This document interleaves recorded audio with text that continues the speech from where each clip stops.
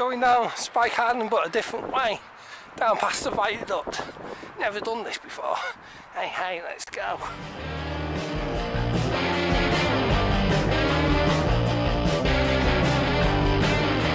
Normally, just go under the viaduct bridge. Um, if I'm, you know, crossing from one side to the other. But yeah, doing something different. Do something different day. January 2023. Yeah, that's the only problem when you come down here.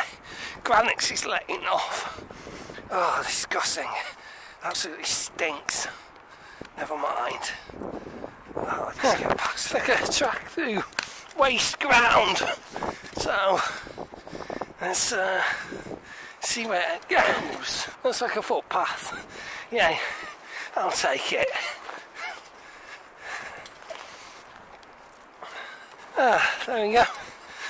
I'm back to the viaduct again. Nice. There's the Widnes Runcorn Bridge just beyond. Right. Yeah. Then get to river down here. Fantastic. There's a view. Mighty River Mersey. Uh, Hutchinson's Hill, Hale Bank. Oh, and it's a bit windy. Cover the mic. okay. Woo. So, look at our first sunset. Eventually. And opposite Malfamo again. Yep. Not got there yet.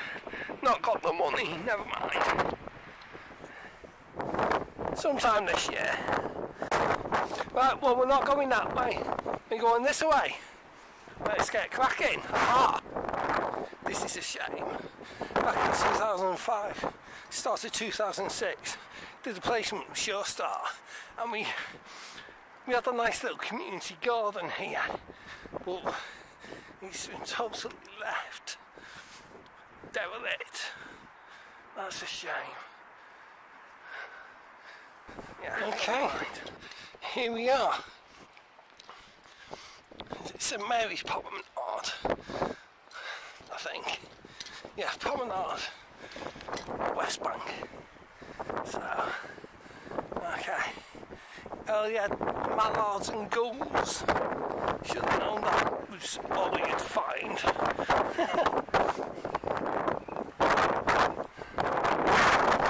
now, I have said this before, but if you've ever seen my vlogging, um, I've down there a few times over the past 10 years.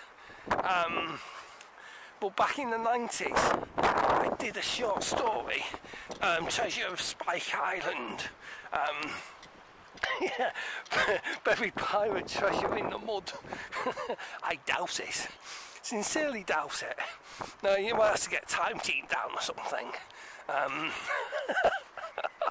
um, but yeah, I've noticed um, a few places I've worked at. They've been talking about Vikings and the Vikings down here. And if you see focusing, that's Wigg Island Visitor Centre, and it's um, in the shape of Ethelfleda's fort. Um, you can't see it from this angle, but she was a, a princess who lived round here and fought off the Viking invaders. See, they didn't just go over to uh, the east coast, they sailed around and came up the west coast as well. Um, so, and stuff. So it's quite fascinating. Uh, I, found out that when we did uh, River of History down there in 2011. That was over Wigg Island. Actually, that's some I've not flogged. yeah, because there was lost on the Astmoor Industrial Estate looking for a school last week. Um, don't want to talk about that at all. right, what have we got over there? I think we've got gulls. On the sandbank. It's a gold party.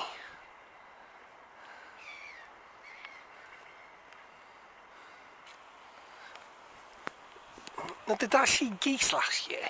Yeah, I thought saw a couple of geese when I came down here last year. Today. So, yes, on that happy note, oh my goodness, exactly opposite Wigg Island Visitor Centre, somewhere I've not been in ages. Yeah, in fact, not since before the new bridge was built, I don't think. Because there was a walkway planned for that bridge, but um, yeah, they never built it. So you have to walk over that, over the old bridge, the Jubilee Bridge, Queen Jubilee Bridge. Um, Her Majesty Queen Elizabeth II um, passed away last year. Don't know not sure about Charles being king, dear. Uh, is there another kettle of fish I want to get into, dear? yeah.